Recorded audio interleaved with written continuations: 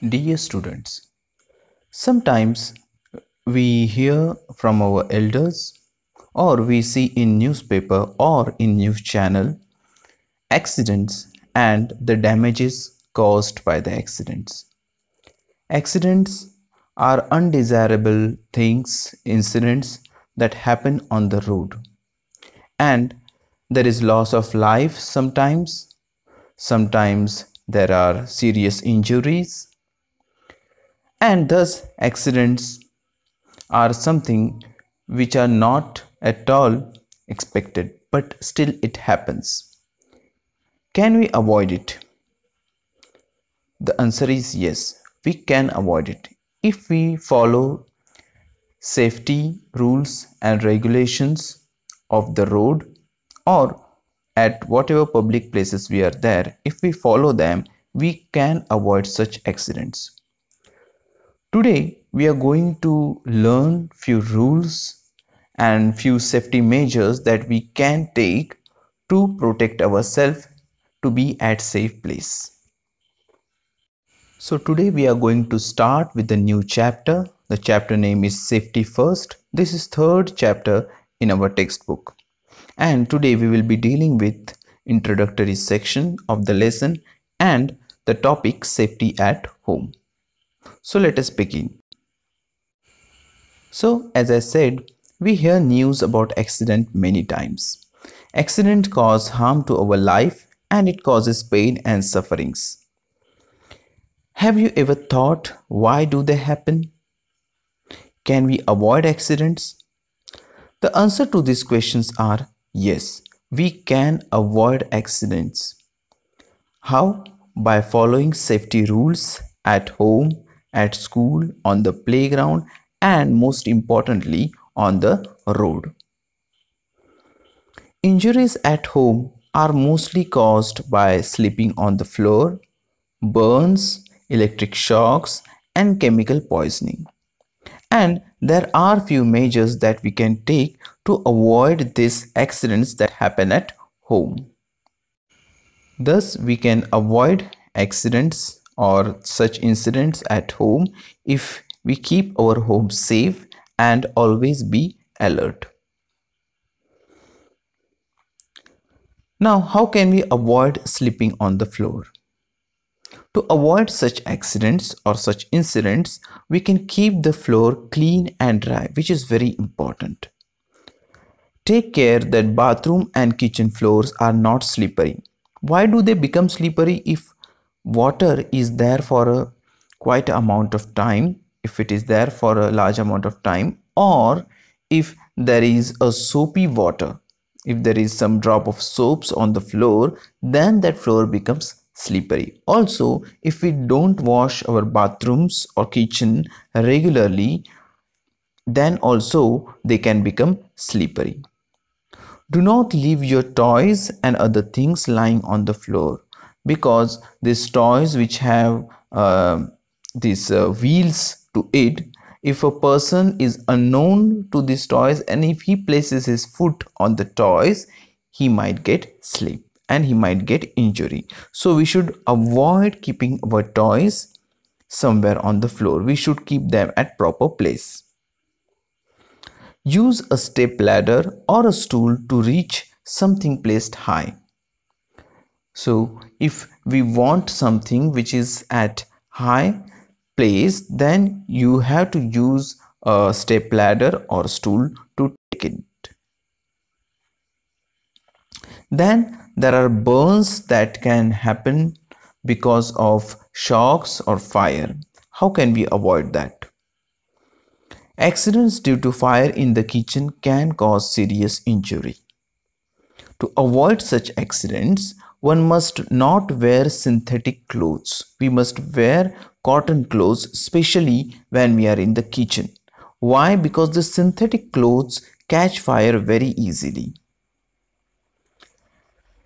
Gas stoves, when not in use, must be turned off. We should be very cautious when we are in kitchen. If we have placed something on the stove, for example, maybe to heat the milk, to boil the milk or to boil something else. But we have to be cautious when we are in the kitchen. If it boils then if cooking is over then you have to switch it off. If you turn it off then we don't have to worry about it. Then they must be checked regularly to avoid leakage especially near the knobs of the cylinder. We have to check the knob uh, if there is leakage or not so it should be checked regularly to avoid such mishaps or such accidents. Students electric appliances are very helpful and beneficial in our day-to-day life. But if we get too close to these electrical appliances they can be dangerous they can prove hazardous. So we have to avoid getting too close to these electrical appliances especially fans electric heaters. These are very dangerous instruments. If we try to get too close to them especially when they are in on position. So as I said electrical appliances make our work easy but they should be handled carefully. We should not touch electrical fittings with wet hands because we might get shock. Why? Because wet hands they have water molecules and these water molecules since our water is not perfectly distilled water and this normal potable water is good conductor of electricity because there are certain impurities in this water and if our hands are wet with such water then current can pass through that water also. And we might get electric shock. So we should avoid touching electrical fittings with wet hands.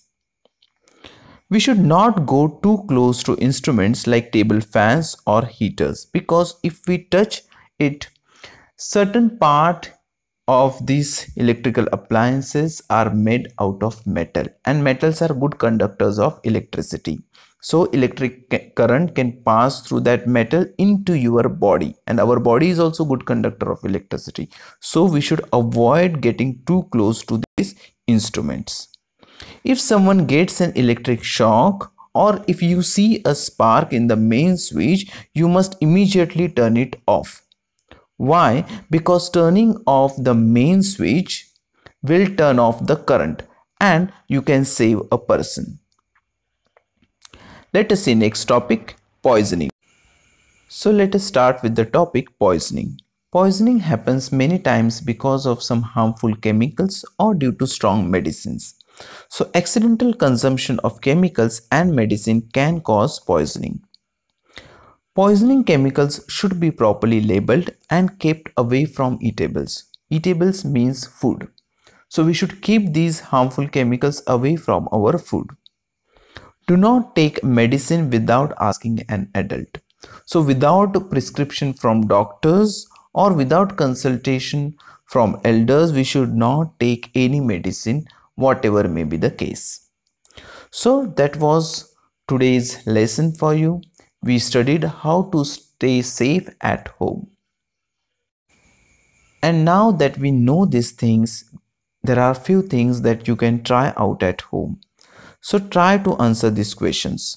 Fill in the blanks. We should stay away from dash and dash to avoid electric shock. You have to answer this question. Second, we can avoid accidents if we follow dash at home, at school and on the playground or on the road. Then next question is what precautions should we take to avoid accidental consumption of poisonous chemicals? And last but not the least, how can we avoid accidents due to fire in the kitchen? So these are the questions that you have to try out at home. I hope you understood today's topic and I also hope you enjoyed it. So see you in next session. Until then, take care. Bye bye.